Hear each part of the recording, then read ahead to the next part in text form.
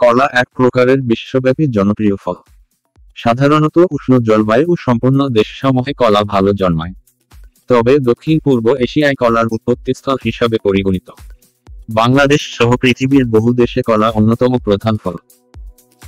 বাংলাদেশের নরসিংদী, মুন্সিগঞ্জ, ময়মনসিংহ, যশোর, বরিশাল, বগুড়া, রংপুর, জয়পুরহাট, কুষ্টিয়া ঝিনাইদহ, চুয়াডাঙ্গা, মেহেরপুর প্রভৃতি এলাকায় শত শত বৎসর যাবৎ ব্যাপকভাবে কলার চাষ হয়ে আসছে।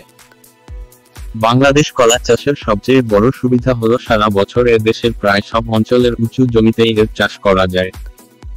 পার্বত্য এলাকায় বনকলা বাংলা কলা মামা কলা সহ বিভিন্ন ধরনের গুণজাতের কলা চাষ হয়।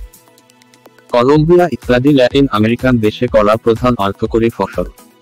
প্রাগাধুনিক ভারতীয় অর্থনীতিতেও একটি প্রধান অর্থকরী ফসল হিসাবে কলার চাষাবাদ হতো। খনের বচনে আছে, কলা রুয়ে না কেটো পাত তাতেই কাপড়, তাতেই ভাত। উদ্ভিদ বিজ্ঞানী মালানের মতে ভারতবর্ষ ও চীন কলার জন্মভূমি।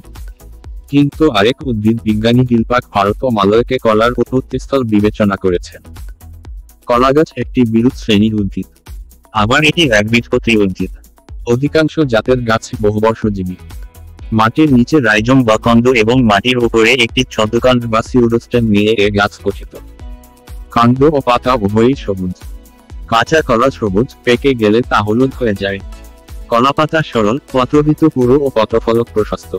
দাড়ি পত্রফলকে দৃঢ়, মোটা ও সুস্পষ্ট ও মধ্যশিরা বিদ্যমান। মধ্য শিরার দুই পাশে সমান্তরাল শিরাগুলো বিন্যাসিত হয়। একান্তরক্রমে পাতাগুলোর উৎপত্তি ঘটে। পুষ্পমঞ্জুরি স্প্রেডিক্স ধরনের এবং নকর মতো স্প্রেড দ্বারা আবৃত থাকে। পুষ্পমঞ্জুরি গোড়ার দিকে ও আগার দিকে পুরুষ এবং নিরপেক্ষ ফুল থাকে। ফুল সাধারণত এক প্রতিসম উপলিঙ্গ তবে কখনো কখনো একলিঙ্গ পুষ্প দেখা যায়। ফুলের ব্রাক্টের রং অ্যান্থোসায়ানিনের জন্য লালচে, গোলাপি বা বেগুনি হয়ে থাকে। ফুলের ছয়টি পাপড়ি পরস্পর তিনটি করে দুইটি আবর্তে সজ্জিত থাকে। এগুলো যুক্ত বা পৃথক উভয়ভাবেই বিন্যস্ত থাকতে পারে। ফুলের পঙ্কেশ্বর পাঁচটি, সবগুলোই উর্বর। যখন পাঁচটি দেখা যায় তখন অন্যটি অনুন্মোচিত বা অনুপস্থিত থাকে। স্ত্রী স্তোকের তিনটি গর্ভপত্র সংযুক্ত অবস্থায় দেখা যায়। ডিম্বাশয় অধগর্ভ এবং তিনটি প্রকোষ্ঠ বিশিষ্ট। এর অনাবিন্যাস অক্ষীয় ধরনের এবং ফল একক, সরস ও বেরি বেরি প্রকৃতি। কলা মিউজিক পরিবারের একটি উদ্ভিদ। এর দুটি গণ আছে যথা, এনসেট ও মূষা এ পরিবারে প্রায় পঞ্চাশটি প্রজাতি অন্তর্ভুক্ত। এনসেট গড়ের মাত্র ছয় মাইনাস সাতটি প্রজাতি আছে, তবে এর মধ্যে মাত্র একটি প্রজাতি এ পর্যন্ত ইথিওপিয়ায় জন্মানো সম্ভব হয়েছে। মুসা গণের প্রায় চল্লিশটি প্রজাতি রয়েছে।